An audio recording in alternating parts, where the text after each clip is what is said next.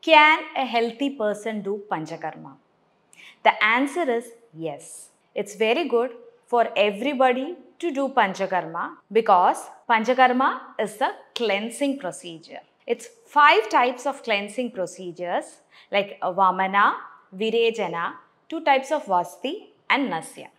Vamana is vomiting, Virechana, loose motion or purgation, Vasti is enema and Nasyam, nasal medication. So, since we are living in a very polluted environment, the air is polluted, water is polluted, food is polluted. So, wouldn't our body also be polluted?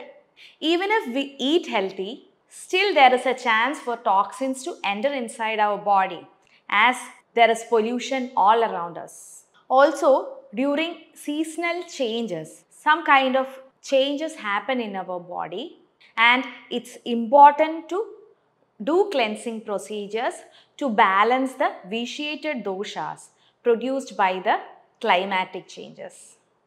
We do service our vehicles regularly, right? So, why don't we service ourselves, which is much more complex than the vehicles itself? We also need a regular service. Panchakarma will help you in that. Through Panchakarma, you can remove inflammation from the body, correct the circulation, digestion, and metabolism. Make sure to keep your body clean and healthy. Even if you cannot come to an Ayurvedic center and do Panchakarma yearly, at least try to do a regular purgation at home.